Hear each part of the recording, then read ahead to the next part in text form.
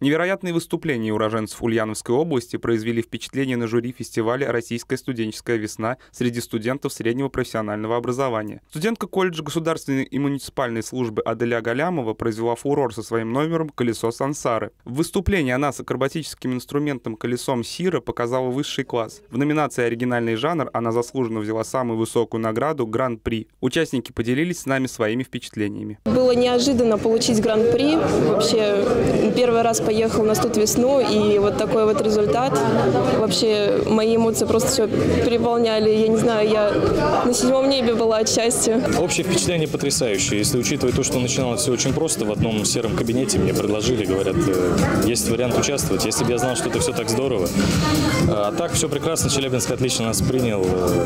Условия шикарные, программа, организация. На каждом углу всегда были люди, которые готовы нам помочь. В Челябинске ульяновскую делегацию представляли 42 студента из 9 профучреждений. Они заявились на все возможные номинации. Ребята активно проводили подготовку к данному фестивалю и заняли призовые места. В копилке региона Гран-при в оригинальном жанре, второе место в номинации «Эстрадный танец» и третье места в номинациях «Брейкданс», «Стрит-арт», «Художественное слово» и «Народный вокал». В Челябинск поехали наши лучшие ребята из колледжа техникумов, и судя по результатам, которые они привезли, мы понимаем, что действительно ребята поехали достойные, и впервые в истории вообще Ульяновской студенческой весны э, ребята привезли гран-при в отдельной номинации. Участниками фестиваля стали более 2000 студентов из более чем 60 регионов России, прошедшие региональные отборочные этапы. Напомним, что в этом году на Всероссийской студенческой весне впервые произошло разделение на высшие и средние учебные заведения. Хотя особого различия в номинациях не оказалось. Таким образом, с выделением отдельного фестиваля